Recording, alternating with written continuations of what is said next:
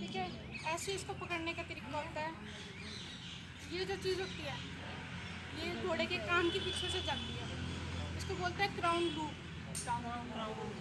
ये जो होता है ये फोरहेड पे जाता है इसलिए इसका नाम है रो बैंड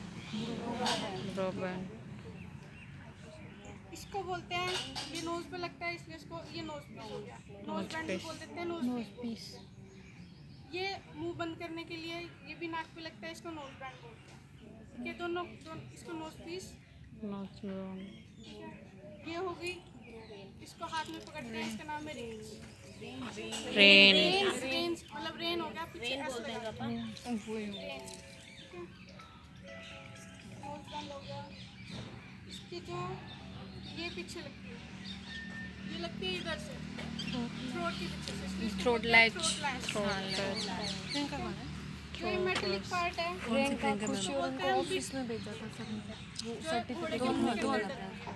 एक तो ये रही इसका क्या नाम था क्राउन का क्या नाम था नहीं है वो सर्टिफिकेट उसका कितना चाहिए ये नीचे जो उसका उसका जो गई है गई है गई है जो गई इसका देख रही हूँ तो मैं उसका मेटल की है 62 है उसका ठीक है ये घोड़े वो लिखने गई है खुशी और वो दो ब्रीडिंग की अच्छे ये जो अटैच हो रही है ये वाली चीज़ है ये छोटी है। इधर भी।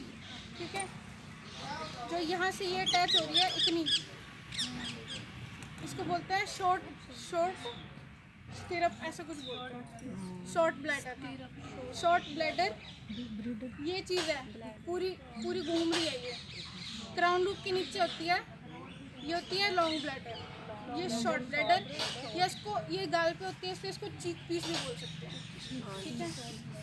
हो गया ये क्राउन लूप ये brow band brow band nose piece nose band पेट पेट रेन लॉन्ग और शॉर्ट ये long bread throat long bridle short breed ना लॉन्ग ब्लैडर